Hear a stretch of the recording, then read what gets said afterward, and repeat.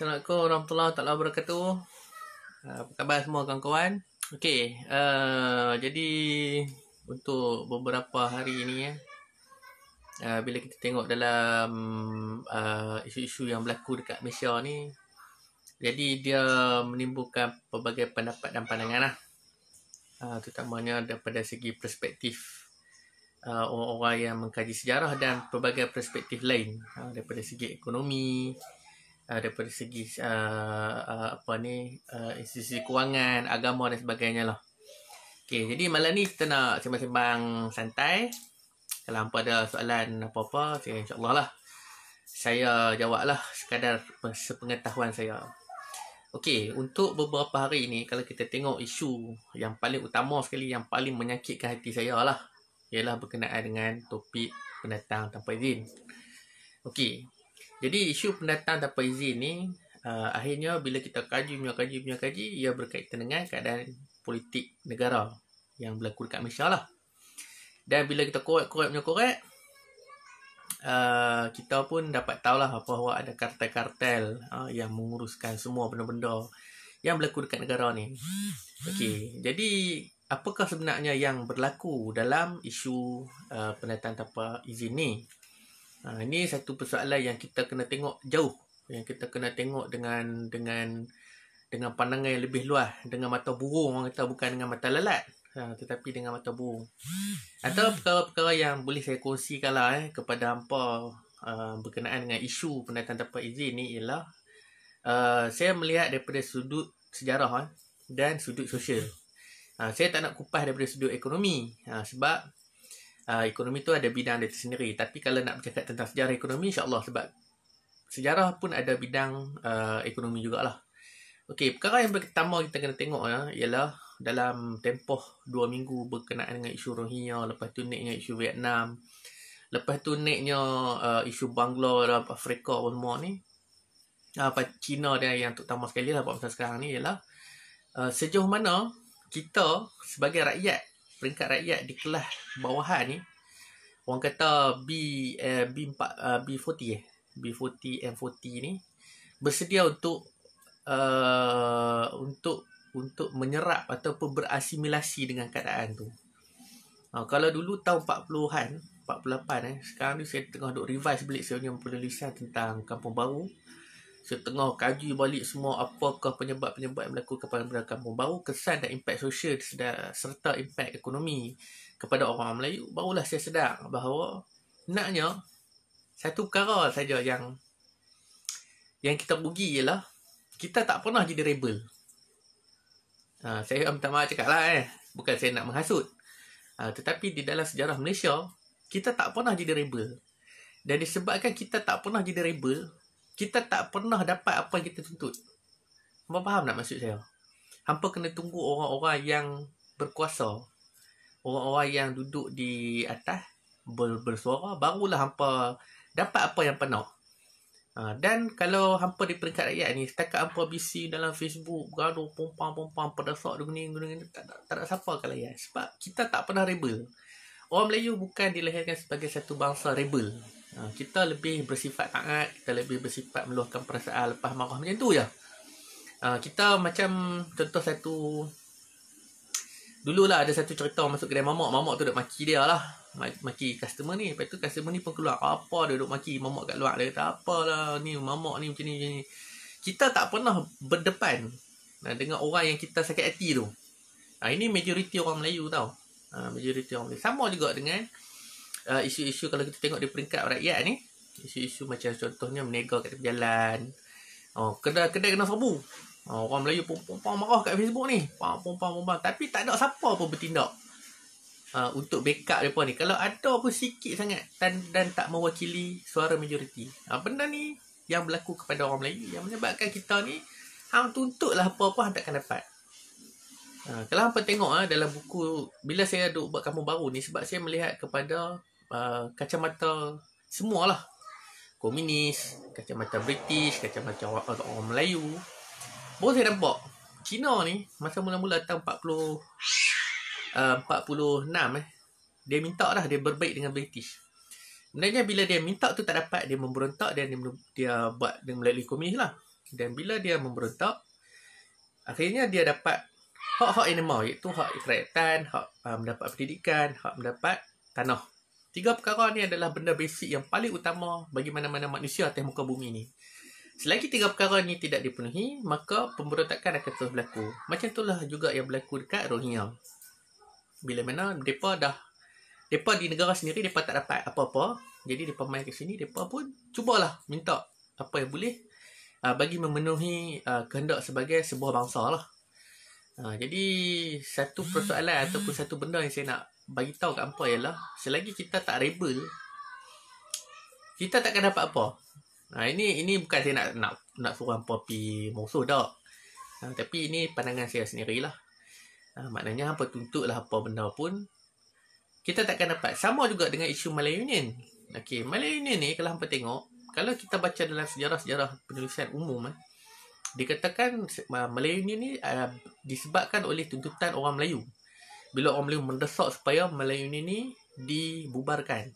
Sebenarnya, kalau hampa tengok dalam rekod-rekod uh, British Military Advisor yang berpusat di India pada masa tu, British dia tak peduli pun dengan orang Melayu. Sebab dia tahu orang Melayu ni bisi mulut saya. Ha, orang orang Melayu ni akan menyalap menyalap habis. Ha, macam tu saja. Ini realiti tau British yang tulis. British dia takut yang dia takut sekali ialah apabila komunis menyerap uh, pemikiran orang-orang Melayu dan orang Melayu menggunakan alasan komunis ni untuk menentang pendudukan British di tanah Melayu. Sebab apa mereka takut dengan komunis? Sebab China dengan Rusia dah bersedia dengan senjata api untuk bagi dekat mana-mana orang yang menyokong perjuangan komunis di tanah Melayu. Jadi begitulah yang dibuat oleh Kuomintang pada tahun 1930 bila mana sebelum nama PKM itu adalah Parti Komunis Nanyang Kemudian dia 30 dia bertukar kepada Parti Komunis Melaya disebabkan mereka nak sokongan orang-orang Melayu menyokong gerakan komunis. Ha, jadi benda ni dia ada satu benda yang halu yang pun kena tengok betul-betul. Ha, kena tengok betul-betul. Hampa tak boleh tertipu dengan keadaan-keadaan uh, mainstream. Ha, dia akan jadi macam-macam teori lah. Akan jadi teori konspirasi apa semua lah.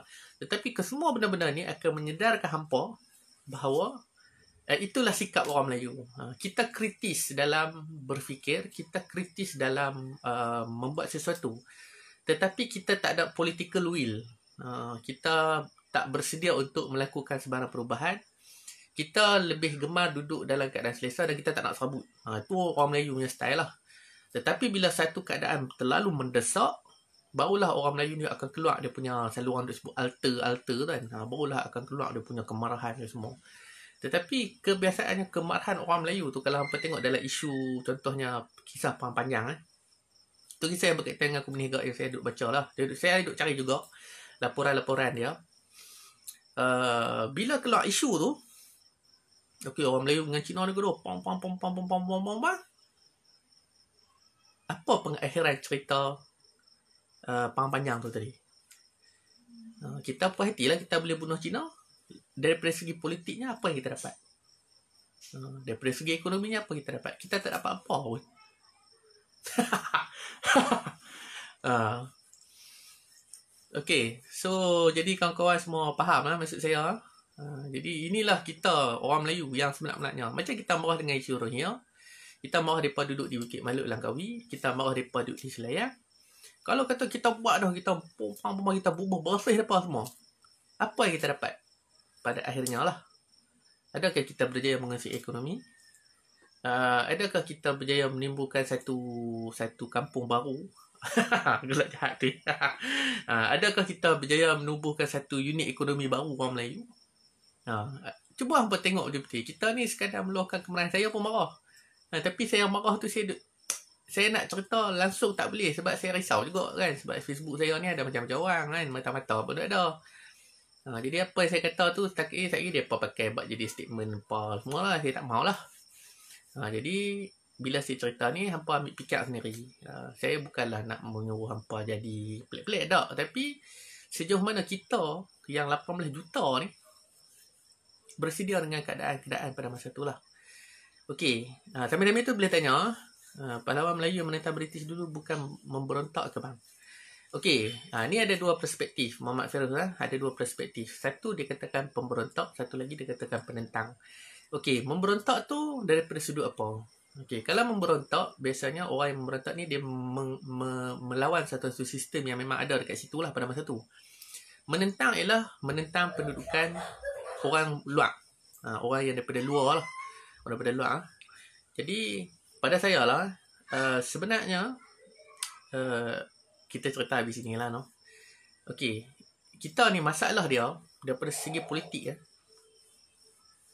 Daripada segi politik eh. Masalah kita ialah kita sentiasa dibayangi oleh uh, institusi raja. Nah, bukan kita nak salahkan institusi raja, tak. Tak. Tetapi kita sentiasa berada di bawah uh, lembayung uh, institusi raja tu yang menyebabkan kita jadi lemah. Uh, Bukan mereka tu melemahkan kita. Bukan raja-raja tu melemahkan kita. Raja-raja dia tak buat apa. Tetapi retorik uh, raja tu yang menjadikan kita ni takut nak bertindak. Raja tak buat apa. Raja dia duduk je tu. Dia duduk elok-elok apa yang raja dia. Uh, tetapi perkataan raja tu yang menyebabkan kita ni oh, tak boleh lawa, tak boleh lagu ni, lagu ni tu. Tak, tak boleh. Sebenarnya dia retorik. Apa tahu retorik? Per satu satu perkataan yang digunakan sebagai propaganda bagi menakut-nakutkan orang Melayu supaya uh, apabila perbuatan tu cuba mengubah satu-satu uh, satu-satu sistem menyebabkan sekali dengan raja-raja tu kita nak ubah tak? Uh, benda ni orang putih dah dah eksperimen. Uh, hang je yang takut lebih. Orang putih tu dah buat awal dah. 1870 tu dia dah buat dah eksperimen. British mai sini tahun 1600 170 tahun dia kaji orang Melayu. Ha, dia tengok orang Melayu macam mana. Dia buat macam-macam laporan, dia buat macam-macam penulisan. Dan 170 tahun tu dia kata ada satu benda saja orang Melayu jangan pegang. Jangan jangan disentuh. Raja dia. Ha, jadi kalau hampa tak sentuh raja, maka tak ada apa yang akan berlaku. Orang Melayu takkan jadi apa-apa. Orang Melayu takkan memberontak. Ha, disebabkan tu, bila British masuk ke tanah Melayu, semua benda telah diserahkan kepada British. Ah, semua benar telah diserahkan kepada British yang menyebabkan uh, orang-orang Melayu, pahlawan-pahlawan Melayu sebahagiannya telah melakukan penentangan kepada British tapi dimanipulasi oleh British yang telah mengambil alih pentadbiran tanah Melayu pada ketika itu sebagai pemberontak. Ha, jadi yang kena faham tahu statement ni dia halus. Dalam sejarah ni dia perkataan tu bahasa tu dia boleh bawa dua maksud. Dia sangat halus yang yang boleh jadi uh, sedap sedap didengar dan sakit hati didengar. Uh, Okey, jadi bila orang putih dia ambil alih uh, tanah Melayu ni, dia bagi dua perkara kepada orang Melayu iaitu uh, agama Islam dan adat istiadat. Okey, nak tanya apa? Kesalahan Pak Su. Okey, saya nak tanya apa? Daripada segi ekonomi ya. Dulu-dulu dalam sistem feudal, oh ni lah lari pula dah no. Nak menjawab soalan tadi tu. Okay, dalam sistem feudal, kalau kita tengok ah, uh, pembesar-pembesar ni dia ada kawasan makan masing-masing. Dan saya belum sebelum ni pun saya ada cerita. Setiap satu kawasan ni mesti berdekatan dengan sungai. Dalam rekod sejarah ah, uh, sepanjang tahun 1870 kalau kita tengok 1820 sebelum tu lagi 1820 sampai tahun 1940 antara komoditi utama tanah Melayu ialah biji timah okey jadi menurutlah Uh, jadi ada pendapat mengatakan bahawa penentangan yang dibuat oleh pembesar-pembesar Melayu di, berlaku akibat daripada uh, apa ni materialism apabila pembesar-pembesar Melayu ni telah uh, tidak diberikan hak untuk mengutip cukai. Sebenarnya bukan mengutip cukai. Kalau hampa tengok, orang Melayu dia dah buat perniagaan. Uh, orang Melayu dah berniaga biji timah. Tetapi tidak ada rekod yang menunjukkan sejauh mana orang Melayu melakukan hubungan perniagaan biji timah dengan negara-negara sekitar dia. Tak ada. Ha, itu masalah dia. Ha, itu masalah dia. Lepas tu, selepas British ambil alih, semua perkara, semua perkara ni bukan saja pentadbiran. Ha, ni yang kata tadi ni, halus je. Uh, British ambil alih pentadbiran Tanah Melayu. Bang, pentadbiran tu dia ambil alih dah. Ekonomi dia ambil alih tak? Ekonomi ni yang kita jarang sekali dengar. Dan apabila orang yang mengkaji sejarah ekonomi, Selalunya sejarah ekonomi yang ditumpukan adalah pada abad ke-20. Jarang sekali orang nak tengok abad ke-19. Uh, macam mana dia nak jadi benda-benda tu? Saya duk tengok ramai lah orang-orang yang kaji sejarah uh, ekonomi. Dia ambil dah zaman selepas tu dah. Dah bila semua diimplementasi. Tetapi berdasarkan kepada satu sudut pandang. Iaitu kita semua duk baca sudut, duk, duk, tengok rekod daripada rekod British ni. Kita tak tengok daripada sudut kita sendiri. Dan kita tak tengok daripada sudut orang Cina sendiri. Bila apa tengok daripada sudut Cina, orang apa nampak? Kita dah kena game. Kita kena tipu. Uh, kita dipermainkan. Jadi British telah bekerjasama dengan China untuk sama-sama menjana ekonomi dan orang Melayu lepas ke tepi. Uh, dan benda yang sama apabila British ni dia bersetuju buat masuk imigran atas dasar keperluan pekerjaan uh, pekerjaan. Dan dia tak nak orang Melayu naik supaya orang Melayu ni bila dia jadi kaya, bila dia terlampau ramai sangat dah senang, dia akan melawan pentadbiran. Naknya keadaan yang berlaku tahun 1870 sampai sampai zaman perang tu hari ini sentiasa diimplementasi oleh mana-mana pentadbiran kerajaan. Tak kira lah hang BN ke, hang PH ke, apa ke, sama lah. Sebab hamba kena fikir tau, kita ada 18 juta majority. Undi paling besar adalah undi orang Melayu.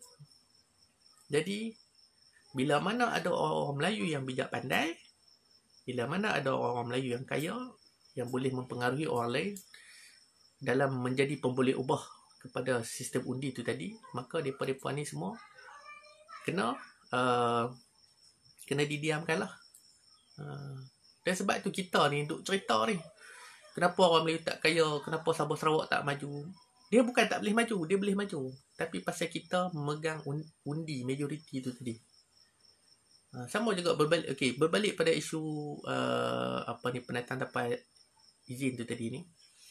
Okey, kalau hampa tengok dulu tahun 48 eh. Kalau kita tengok tahun 48. Uh, bila British ni dia dah bagi semua benda. Uh, bila British dah bagi semua benda, jadi Cina-Cina dia dah kaya. Dan dia tutup apa yang patut. Masa ni Sultan-Sultan Melayu tak ada kuasa. Sultan-Sultan Melayu tak tahu, bukan tak tahu apa, dia tahu tapi dia tak boleh buat apa. Sebab pentadbiran bukan berada di bawah dia. Sama juga dengan kedudukan hari ni, bila mana-mana kerajaan, sama ada PH ke, BN ke, sultan-sultan dia tak boleh buat apa. Hampa kena faham yang tu. Dia tak ada kuasa menyelia. Dia kuasa dia sampai sekarang adalah uh, apa ni ada istiadat dan agama Islam itu saja. Kuasa dia tak pernah diserahkan. Kuasa mentadbir negeri tidak pernah diserahkan kepada sultan. Kecuali atas perkara-perkara dua perkara tadilah. Uh, itu yang menyebabkan kita jadi berselerak dan tak mustahil. Ha, kalau kita tidak membantah. Kalau kita tak bantah uh, kedatangan pendatang tempat izin ni. Mereka ni akan jadi seperti mana orang Cina yang main tahun 40-an, 50-an. Dan mereka akan dapat hak-hak yang mereka nak. Sebab apa kita ni, kita tak melawan. Baik jadi macam Jimping. Ha, ia apa kata kuasa umpah pula kan. Ha, tapi kalau apa pikir betul-betul baik jadi macam Jimping. Ha, cimping dia berontak, berontak, berontak. Dia bunuh orang sana sini. Kan? Kemudiannya dia dapat apa yang dia nak. Tak apalah dia lari. Dia lari lah duduk belah Sirikin tu. Kampung belah Naratiwat tu. Tapi tak-tak tu dia fly pergi China. Ha, hidup je dalam miskin. Tapi dia terbang sana sini. Pergi persidangan sana sini. Apa tahu, apa tak tahu. Sebab kita kurang membaca. Tapi kalau hamba baca memuai hidup dia, mata mata mata dia pi. Kalau dia duduk dalam keadaan MC, macam mana dia nak pi? Siapa bagi duit kat dia? Dan dia telah menjadi uh, dia telah menjadi lilin uh, yang membakar diri dia untuk kesenangan orang lain. Uh, tapi kita ni kita ada juga yang bakar diri. Tapi bakar-bakar terus jadi abu. uh, bakar tak jadi iba. Uh, tu masalah kita lah orang Melayu kan. Sebab kita kita sudah terbiasa dengan keadaan-keadaan selesa. Kita tak payahlah fikir teruk-teruk buat apa nak usaha lebih-lebih. Ha. Kita bisi-bisi hampa percayalah cerita Rohingya ke cerita susah parti NIC apa semua ni. Cerita ni semua akan habis dalam masa 3 4 bulan lagi. Cerita Bukit Malu 20 tahun dah bang orang nak bising 20 tahun orang bising. Ha 20 tahun orang bising apa tak jadi. Cerita isu Cina masuk sejak zaman DP ni 10 tahun dulu. Tak jadi apa.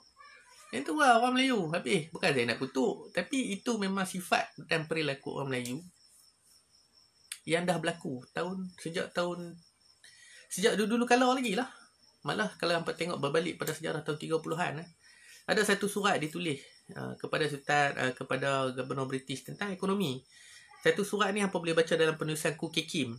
Nah, dia petik nama orang Melayu ni. Dia kata uh, dia dalam surat tu dia kata orang Melayu uh, telah ditindas daripada segi ekonomi ketika itu di Singapura uh, telah ditindas daripada segi ekonomi dan tidak dapat membangun. Apakah tindakan uh, uh, apa ni uh, pemerintah-pemerintah yang diwakili oleh orang Melayu untuk membantu orang Melayu pada ketika itu? Bang, tahun 70 bang. Eh, tahun 30. Tahun 30. Ni 20-20. 90 tahun dah. Benda yang sama kita duduk bincang. Benda yang sama kita duduk ulang iaitu orang Melayu susah, orang Melayu miskin, apa semua lah.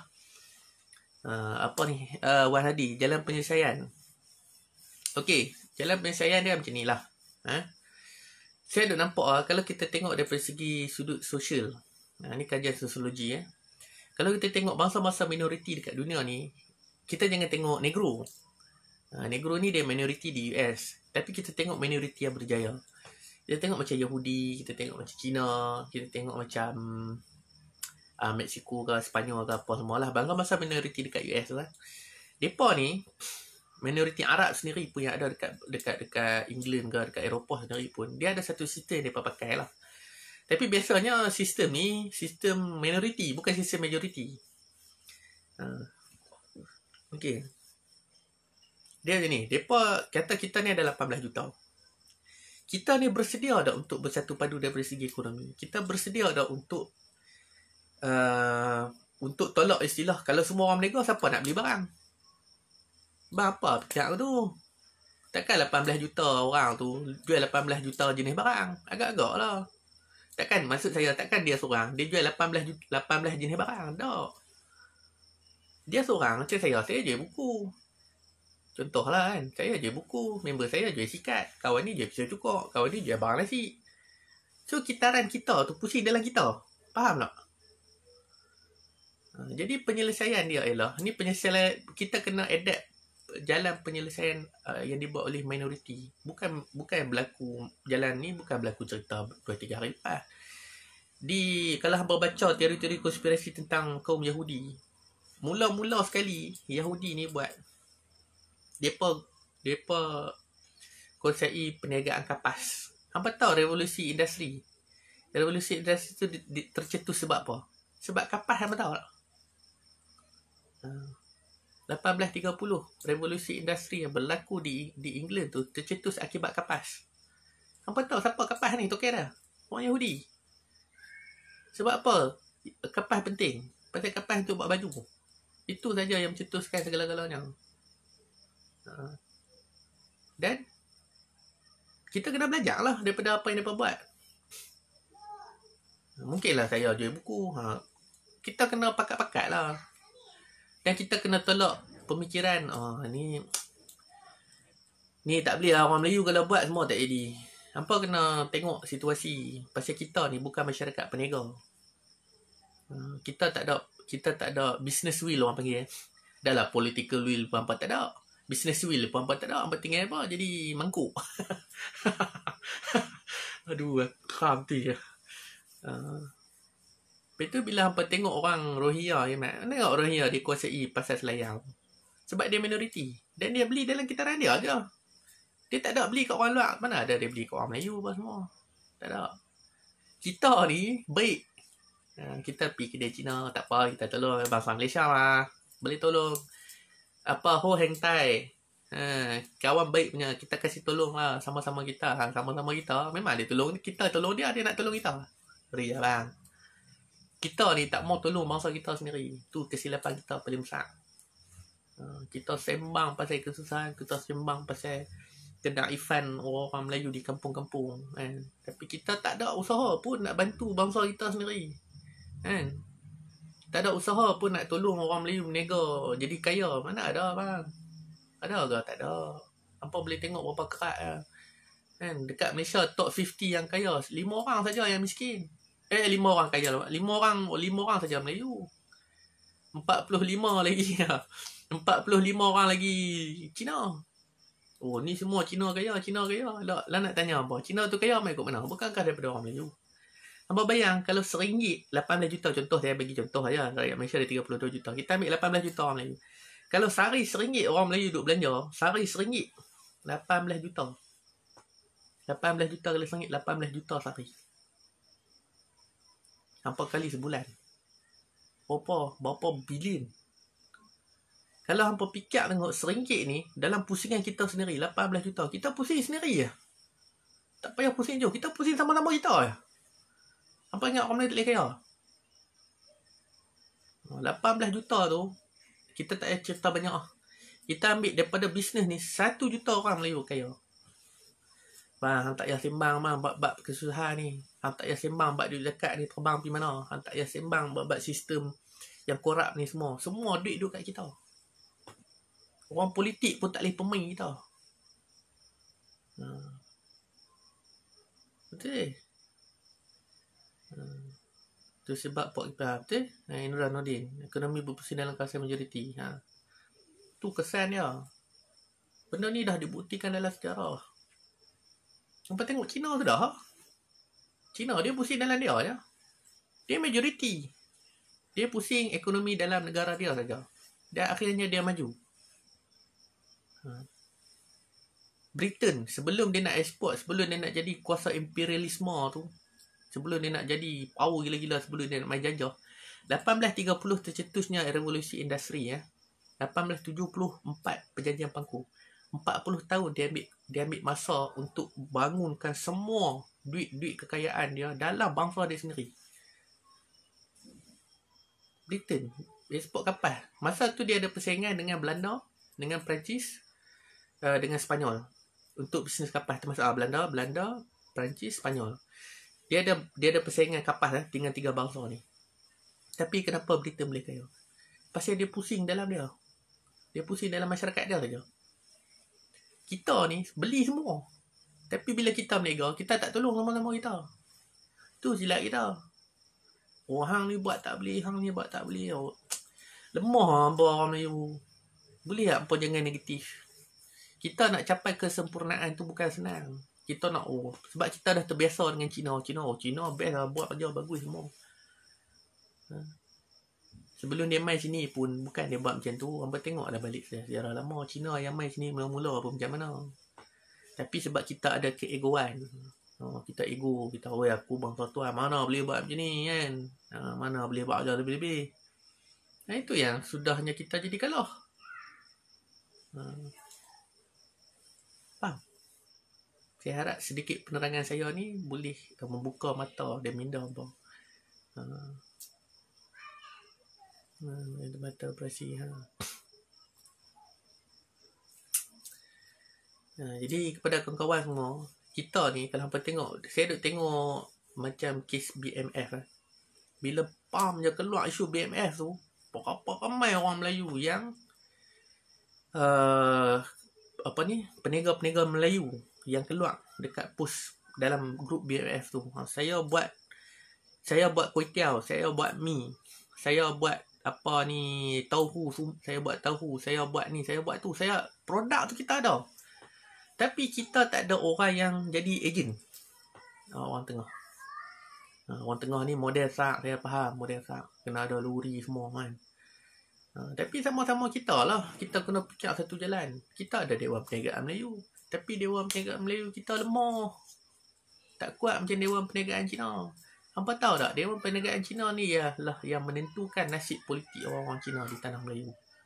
Yang menentukan nasib pendidikan anak-anak Cina. Yang menentukan sejauh mana nasib orang-orang Cina pada masa-masa depan. Dewan Perniagaan Cina. Dewan Perniagaan Cina ni, dia wujud tahun 1920. Dah disebut. Dewan Perniagaan Cina inilah pada tahun 40 telah memberikan arahan kepada semua orang Cina supaya menyokong pentadbiran British. Ya, hampa baca dalam buku Ong Hak Ching. Dia sebut. Ha, Dewan Perniagaan Cina. British mai jumpa Dewan Perniagaan Cina tahun 41 memberitahu kepada supaya Dewan Perniagaan Cina bagi tahu kat semua peserta-peserta Cina supaya menyokong uh, British walau apa pun terjadi selepas ni. Ha, Dewan Perniagaan Cina tak apa. Kami boleh sokong tapi apa nak bagi kat kami? Bang, kita Dewan Perniagaan Melayu beli apa? Beli apa?